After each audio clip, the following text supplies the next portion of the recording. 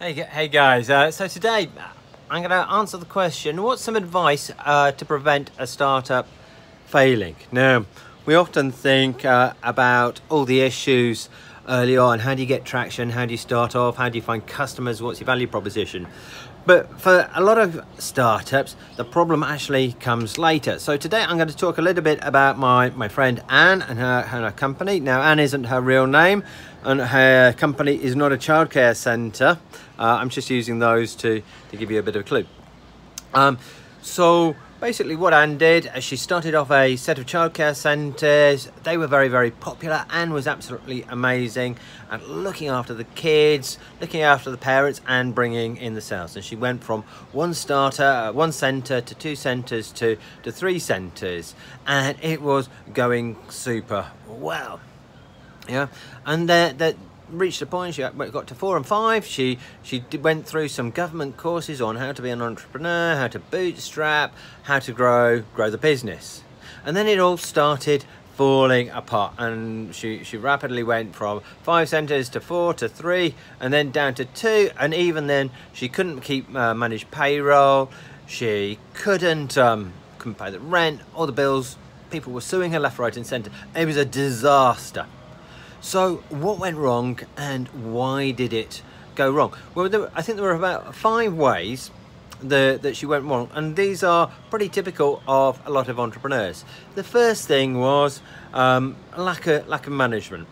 At one point Ann had 100 people reporting directly to her.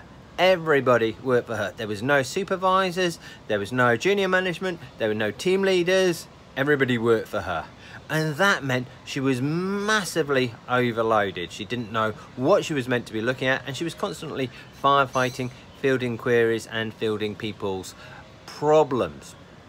And so getting a system of, of management where you give people control over other people to make sure that things happen uh, effectively and consistently is really, really important. The next thing was the, the delegation, and delegation is closely linked to, to management. Here, what we're talking about is you need to give people a task. You give people a task, that's fairly straightforward. Can you go and do this? That is not delegation. That's just telling people somebody to go and do it. Because what you need to do is you need to check, have they done it? Have they done the task correctly?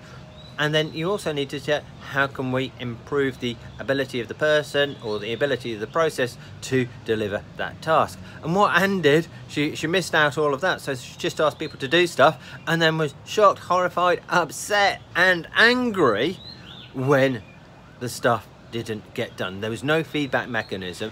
And the feedback mechanism is what really helps to keep people keep people accountable. Very very critical the next thing was the the finance. Uh, it was it was absolutely brilliant. She was bringing um, customers in. Customers were paying well, and she thought she was making money. The only problem was she couldn't figure out why at the end of each month she had less money than she had before. When I, when I spoke to her the first time, she said that she reckoned her margins were about 10%. So for every $100 that she sold, she made about $10 in profit.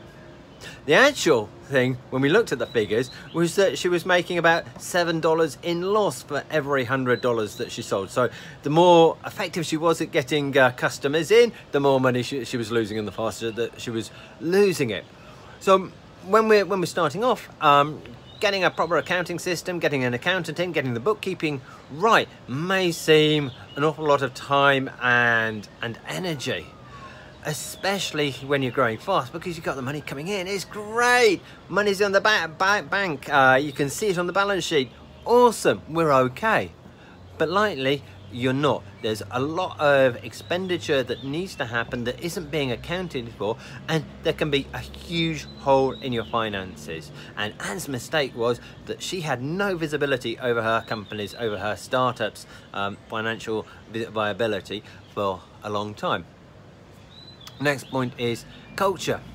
to start with, uh, Ann wasn't really sure how her business was going to work. So she went out, she hired the cheapest, cheerfulest people that she could, could find and, and run with that. And it worked. She got customers in, they, they were happy.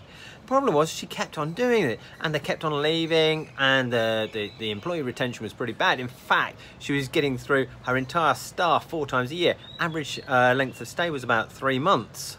And that, that just caused so many problems.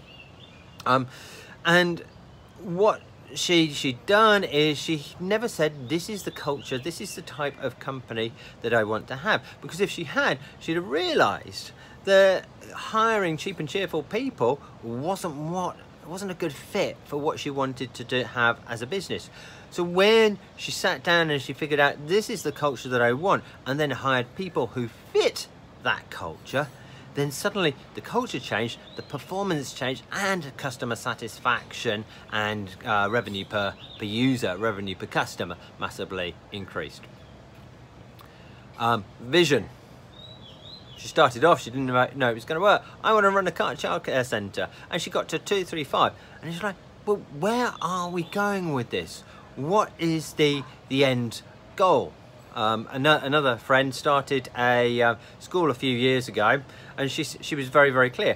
I want to create the equivalent of an English grammar school in Malaysia and I want to create the equivalent of uh, Cheltenham Ladies College in Malaysia and they must be as good as the originals in the UK. And that was an absolutely clear focused vision and it's taken her 30 years to deliver it and it's absolutely superb. Ann, on the other hand, doesn't have a vision. I want to, I want to look after children. I want to give them uh, a good education. Yeah, it's nice, it's fuzzy. She didn't get that, and consequently, she was making lots of decisions that were sensible in themselves, but overall, they added uh, added up to a mess that wasn't taking the company somewhere. So now she's um, got something like, I want to create a great kindergarten that gives working class kids the same start in life that middle class kids have. And that is very, very powerful. It says a lot and it drives every decision that she's making from here on now. And finally, leadership. Um, let me just check what I what I wrote. Yes, so so leadership. Ann was absolutely brilliant out in the out in the trenches working with people uh, the staff, with the children, with the parents. That is why people bought. They bought because of her, not because of the company or, or anything else. Now, when Ann saw the, the company got a bit bigger, Ann then went back into uh, the management, she was in head office, she was very unapproachable, she was always buried in paperwork and tax returns and all that kind of stuff. And the business started falling apart. Now, Ann made the decision a couple of months ago that she was going to spend 90% of her time doing what she loved in the places that she loved and she would hire people to do the boring management stuff that she didn't like yeah she knew where she wanted to go she'd drive it and that again has transformed the business and helped to turn it around and she's now back to adding more more centers so i think the the big message that you you can learn from ann is that when you start a startup, a lot of it's uncertain, a lot of it's confusing, all right? Uh, and you make lots of ad hoc decisions. You do the best that you can and you keep on going on like that. But there comes a point when you have to start acting like a big company. You have to become more mature, more more responsible, sort of grow, grow a bit of a beard. And if you don't do that, the problems mount up and mount up and mount up. And they might be masked by sales and good revenue and growth and user numbers. But you're on a very, very fragile foundation. It's a big soap bubble and pop, it bursts just like uh, what happened happened to Ann. So as soon as you know that your startup is growing, that is looking successful, then you need to start building the infrastructure and the foundations of a proper business that is going to support it where it is now and where it needs to go in the future.